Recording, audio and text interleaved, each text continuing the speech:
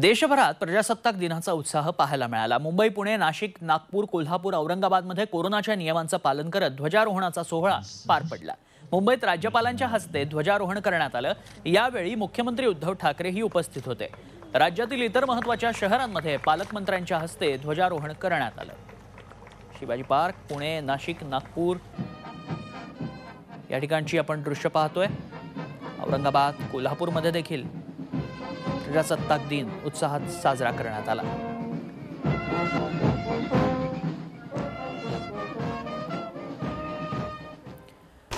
लाल मातीतली कुस्ती. म्हणजे?